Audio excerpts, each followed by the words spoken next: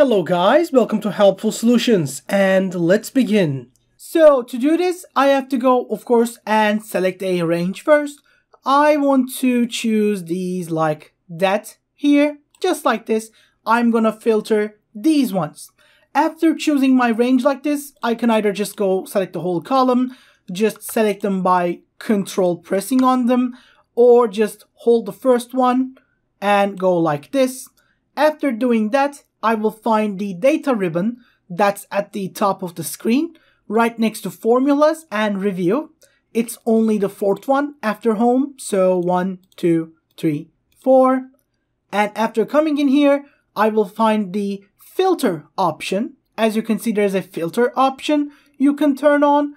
And when you press the filter, that's right next to the sorting, it will put on a filter for the whole range. That way, when you press on it, you will open the filter options. You can also sort them. You can use numbers.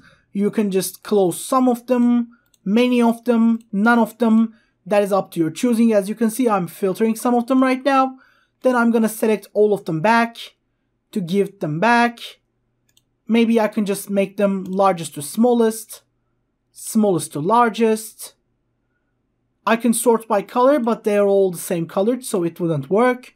Or I can just not use number filters and do a top 10, and it will only show me the top 10 of them.